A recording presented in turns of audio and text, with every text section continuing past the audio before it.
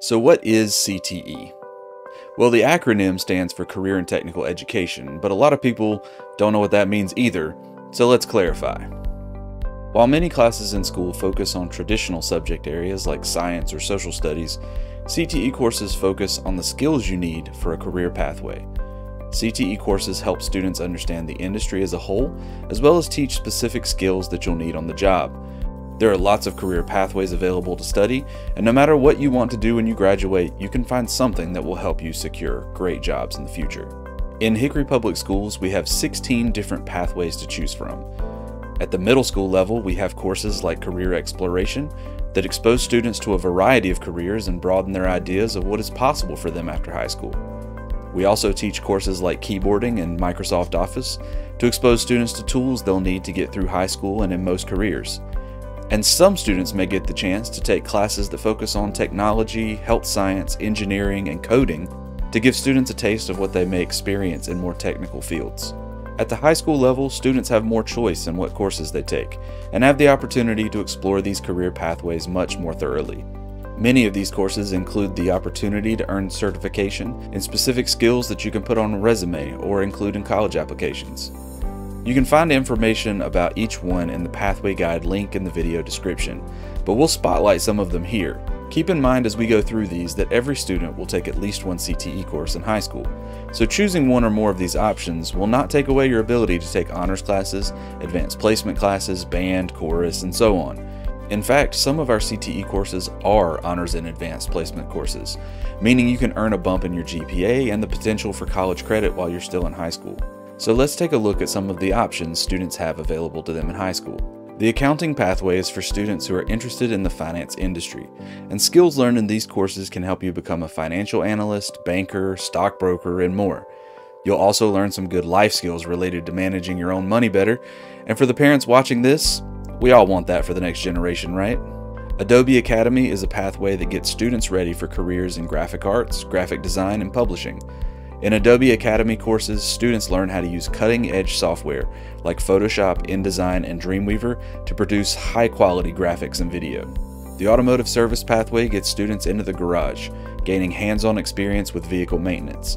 This is a great set of courses for students who want to work as service technicians, mechanics, engineers, and for any student who just has a passion for cars. The carpentry and construction pathway includes lots of hands on activities with building materials, in addition to thinking through the planning and design decisions that go into architecture and construction. We have several computer science pathways that help students develop skills used in the information technology field.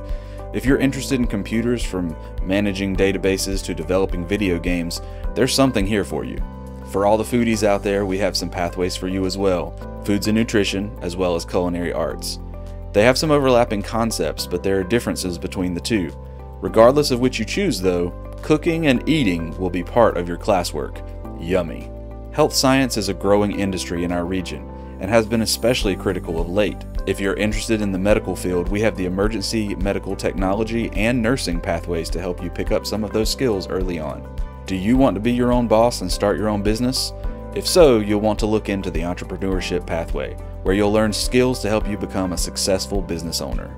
Interior design is an often misunderstood pathway that people think is just about decoration. I can assure you that is not the case. In addition to making a space look great, interior design courses will help you understand all the design decisions that go into making a space safe, functional, and pleasing to the eye. For those who love the sports world, there's sports and entertainment marketing.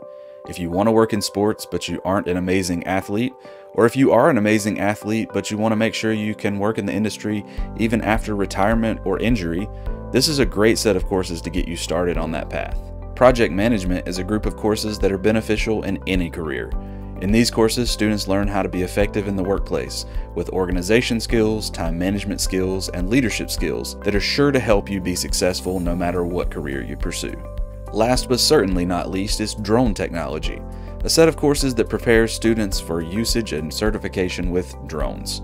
As drone technology becomes more widespread and more easily accessible, this industry is becoming more and more competitive, and these courses will help you get a leg up on the competition.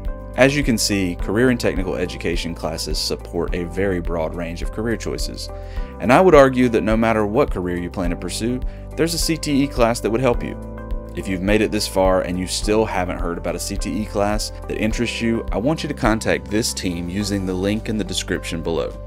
On this team, you have educators at the school level Gene Turner at Hickory High, Josh Cornwell, that's me, at Grandview and Northview, and Natasha Stiles at HCAM. Depending on your question, we may ask the folks on the top row Dr. Timothy Sims, Karen Ingram, and Janet Durr Littman, but they serve all the schools rather than just one or two, so your answer will probably come from one of the career development coordinators. We look forward to hearing from you and working with you.